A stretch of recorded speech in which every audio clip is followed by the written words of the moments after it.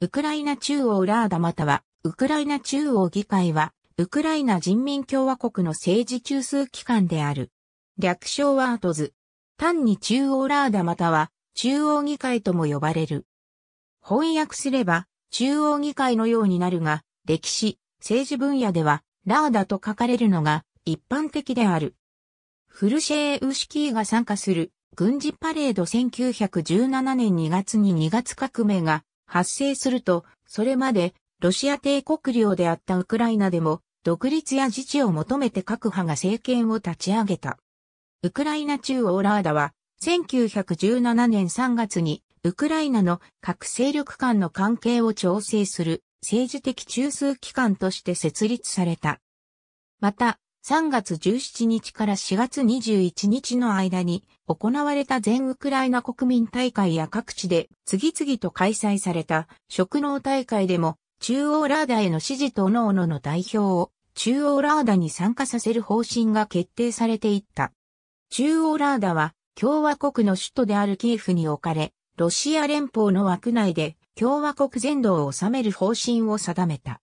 当時ロシアでは臨時政府が政権を司っており、中央ラーダはこのロシア政府との協調路線を取ることでより広範囲な自治権の保障を得ようと考えており、完全な独立への意思は有していなかった。ウクライナでは完全な独立を目指すよりはまず他国の総主権下で権力の正当性の保障を得、その上でなるべく広範囲な自治権の獲得を目指すというスタイルが取られてきた歴史があり、中央ラーダもその範に従ったと言える。これは、広く、ウクライナ人に受け入れられやすい方法であった。また、ロシア政府との無益な争いにより消耗するよりは、同政府と協調路線を取ることによりより円滑に国内を治めることができると期待されたということもあった。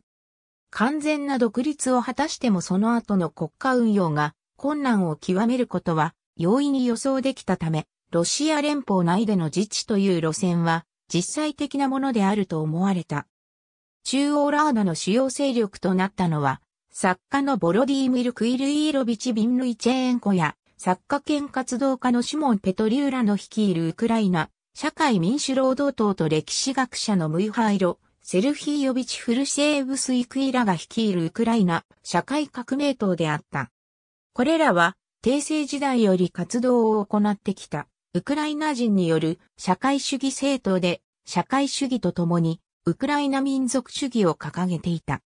そのため、ハルキウのようなロシア化した都市では、中央ラーダの方針に反発するロシア人やユダヤ人を中心として、労働者、兵士、ソビエトが結成された。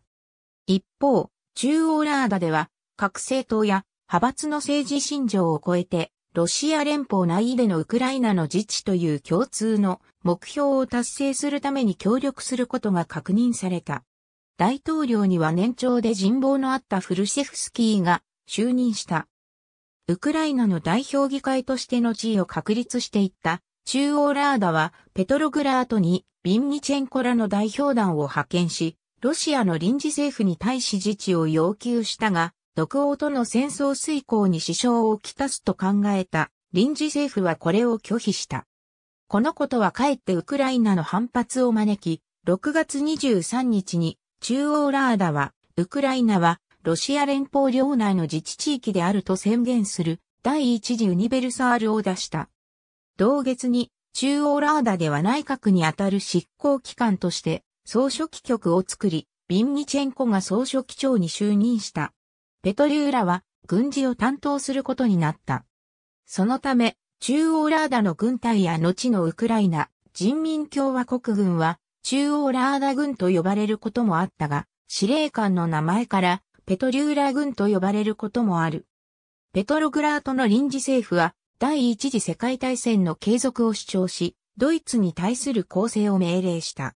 これは、攻勢を主張した当時の陸海将、アレクサンドル・ケレンスキーにちなみ、ケレンスキー攻勢と呼ばれる。しかし、革命により指揮系統の破綻しつつあったロシア軍は、敗走を繰り返した。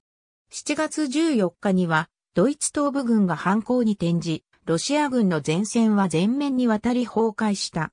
その後、ラーブル・ゲオルゲービチ・コルニーロフ将軍がクーデターを企て、臨時政府は危機に陥った。ロシア各地での反革命の機運の高まりを受け、ウクライナも敵対勢力の一端となることを恐れたペトログラードの臨時政府は、ケレンスキー陸海将、首相をキエフへ送り込み、キエフ、チェルニーヒウ、ポルターバ、ボルイーニ、ポジーラの中部ウクライナ5県に限って、ウクライナの自治を認めることで、中央ラーダと合意を試みた。この合意は、7月16日に出された第22ベルサールに盛り込まれた。これにより、中央ラーダとその総書記局が正式にウクライナの政府として認められ、ウクライナはロシア帝国に併合されて、以来初めて本格的な自治を手に入れた。しかし、10月にボリシェビキによる10月革命が発生すると、ウクライナとロシアの友好関係は終わりを迎えることとなった。中央ラーダは暴力によって臨時政府から権力を奪取したボリシェビキを非難し、10月革命を認めなかった。これまでの権力保障機関であったロシアの臨時政府が消滅したことを受け、11月20日、中央ラーダと総書記局は、より広範囲の独立自治を謳う第3次ユニベルサールを発し、ここにウクライナ人民共和国の創設を宣言した。これは依然としてロシアとの連邦制を謳ったものであったが、実際にはロシアには中央ラーダの認める政権が存在しておらず、この第3次ユニベルサールが事実上のウクライナの独立宣言となったと言える。また、イギリスとフランスは第3次ユニベルサールを受けてウクライナ人民共和国の独立を承認し、代表団をキエフに送った。この早急なる承認の裏にはウクライナが単独で独王と講和条約を結ぶことを危惧したという理由があった。日本をはじめ他の諸外国も相次いでキエフへ代表団を送り込んだ。第3次ユニベルサールで創設されたウクライナ人民共和国は民族主義を標榜する社会主義国家という奇妙な枠組みを持っていたが、宣言の方針は極めて民主的な内容のものであった。また、領土は東部のハルキウや南部のヘルソーニやタウリダ、カテリノスラーウの4県を併合し、ほぼ帝政時代のウクライナの領土を回復した。ウクライナはロシアのあらゆる産業の中心地であり、ボリシェビキはウクライナがロシアから乖離することを恐れて、中央ラーダの無力化を試みた。ブラジミル・レーニンやレフトロツキーらボリシェビキは中央ラーダをブルジョワ主義の反革命分離主義者であると激しく批判し、並行してソビエト勢力を中央ラーダ内に入り込ませ、内部よりの乗っ取りを企てた。しかし、ウクライナでのボリシェビキ勢力はわずか1割程度であり、中央ラーダの乗っ取りは到底不可能であった。代わって、ボリシェビキは武力によるウクライナの制圧を視野に入れて、ウクライナ系勢力に敵対するロシア系勢力の強いハルキウに、ウクライナ人民共和国を樹立して、ボリシェビキ勢力のウクライナにおける中枢とした。12月には、ロシアのソビエト政権はウクライナに最後通帳を突きつけた。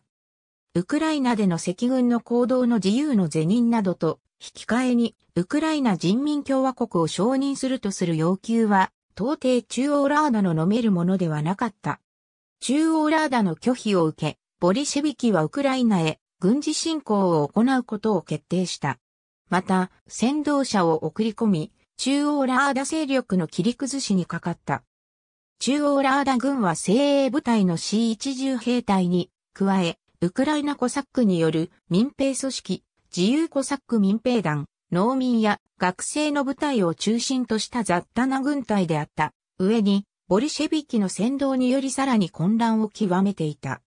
赤軍は各地で中央ラーダ軍を破り、翌1918年1月にはキエフで激しい戦闘が行われた。中央ラーダは1月22日、第42ベルサールを発し従来のロシア連邦下での協調路線を捨て、ウクライナが完全に独立することを宣言したが、公式れず、2月にはキエフを退いて、ジトーミルへ逃れた。中央ラーダは同月9日に独王とブレストリトフスク条約を結んで食料100万トンと引き換えに、独王軍の軍事的協力を得ることに成功した。これによる要請から45万の軍勢をウクライナ方面へ進軍させた独王軍は、ジトーミルで体制を立て直した中央ラーダ軍と共に、ボリシェビキに反撃を加え、4月末までにウクライナの領土をほぼすべて回復した。しかし、独王軍との連合は中央ラーダにとって命取りとなった。特に主力となったドイツ軍は応募を極め、ウクライナの農民からの食料挑発も膨大な量に上った。一方、ドイツ軍にとっては、中央ラーダは経験の浅いインテリ集団であり、食料調達のための行政能力に欠けていると評価された。農民の不満は中央ラーダに向けられ、ついに4月29日、キエフサーカス劇場にて行われた農民大会でヘイチマンの政変が発生した。大会議場にて、ロシア帝国の貴族であったパウロー・スコロパードシクイ、将軍がヘイチマンに選出され、中央ラーダは解散、国号もウクライナ国に改められたのである。1918年11月11日にドイツが連合国に降伏すると、それまでウクライナで主人として振る舞っていたドイツ軍は全面撤退することとなった。これを受け、再起のまたとない機会と捉えた中央ラーダの残党たちは、スコロパードシクイのヘイチマン政府に対抗するため新たにディレクトーリアと呼ばれる組織を立ち上げた。その長である執政官には、ビンニチェンコがなり、ペトリューラは、再び軍事を司った。シーチ中兵隊を中心に構成されたペトリューラ軍は、体制の整わないウクライナ国軍を次々と破り、12月14日にはドイツ軍と協定を結んだ上でキエフを掌握した。ここにウクライナ人民共和国は復活の日の目を見た。しかし、ディレクトリア政府はかつての中央ラーダ政府よりさらに組織は脆弱で、また周囲の政治状況も以前より困難度を増していた。ディレクトリア政府は西ウクライナ人民共和国とも連合してボリシェビキ勢力の総統に務めたが、アントン・イバーノビチ・デニーキン将軍やピョートル、ニコラー・エービチ・ブラーアンゲリ将軍らの南ロシア軍や、ネストル・マフノのウクライナ革命反乱軍など他、勢力との連合に失敗し、同盟したポーランドの裏切りにもあった。また、チフスの流行により、軍も壊滅し、赤軍との戦闘続行は不可能となった。ペトリューラはポーランドへ亡命し、1920年秋にウクライナ人民共和国はその最後を迎えた。しかし、その後も中央ラーダディレクトリアの残党によるパルチザン活動は続行された。一部はペトリューラの亡命政府と連携し、ボリシェビキ軍を苦しめた。しかし、この勢力も1921年末には弾圧され、ここに4年にわたるウクライナ内戦はウクライナ勢力の敗北のうちに終結した。パリへ亡命したペトリューラは1926年にソ連のスパイによって暗殺された。亡命していたフルシェフスキーは、ウクライナのウクライナ化政策が取られた1920年代に帰国し、アカデミー会員となって、ウクライナ史の研究に従事した。しかし、彼は1930年代に取られた反ウクライナ政策に基づくヨシフ・スターリンの粛清の標的となり、1931年に彼の作ったアカデミーの歴史部門は閉鎖、カフカースへ流刑された。1934年11月26日、フルシェフスキーはキスロボーツクにてその生涯を閉じた。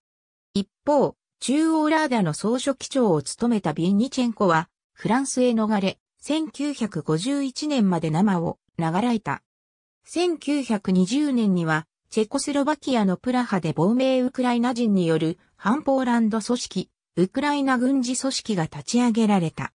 間もなくこの組織の長には、中央ラーダでペトリューラと共にシーチ重兵隊を結成したイエブヘーン、このバーレツ大佐が就任した。ボは、ユゼフ、ピウスツキ大統領の暗殺も試みたことがあった。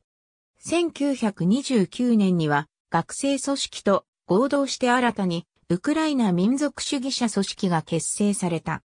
オーンは一時2万人の組織員を抱え、ポーランドやソ連の要人の暗殺を行うとともに、様々な宣伝活動や啓蒙活動も行った。組織は後に、アンドリー・メイリヌイクの派閥とステパーン・アンドリーヨビチ、バンデーラの派閥とに分裂したが、これらは1941年に組織されたウクライナ、放棄軍のもとに、再び集結し、ドイツ軍とソ連軍双方に対する激しいパルチザン活動を行った。ウパは第二次世界大戦終結時に西ウクライナのかなりの部分をその勢力下に収めており、ソ連軍は1950年代までその掃討作戦を続けざるを得なかった。ウパはポーランドに対する活動も言った。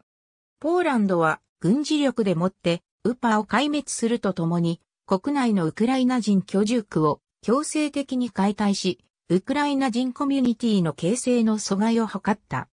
その結果、ポーランド領内にはまとまったウクライナ人居住区はなくなった。ステパーン・バンデーラは1959年10月2日に KGB のスパイによって暗殺された。中央ラーダの流れを組むウクライナ民族主義活動はいずれも実を結ばなかったが、思わぬところでその独立は現実のものとなるに至った。1990年6月にロシア連邦が主権宣言を行うと、ウクライナのベルホーブナラーダも7月16日に主権宣言を行った。この時点ではウクライナはまだ独立する決定を持っていなかったが、1991年にモスクワで8月クーデターが発生し、失敗に終わると、その勢いもあり8月24日、ベルホーブナラーダは、ウクライナの独立を宣言した。独立ウクライナは、独立に再取得団の独立運動もなく、また、ソ連時代の幹部がそのまま新体制に移動したものであった。ウクライナの独立を受け、ソ連は崩壊した。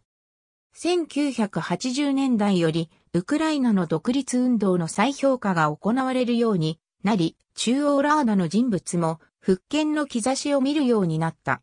現在のウクライナは国旗、国家、国章ともに1918年に中央ラーダで定められたものを採用している。また、古いブニャ紙幣には、ボフダン・フメリニツキーのようなウクライナ史上の大人物の肖像画に並び、フルシェフスキーら中央ラーダの人物の肖像も採用されている。このように、現在のウクライナは、かつての中央ラーダウクライナ人民共和国の正当な後継国家であることを辞任しているといえ、現在のウクライナの正当性の根拠として、中央ラーダによる独立国家の運営という指摘事実が置かれていると言える。ありがとうございます。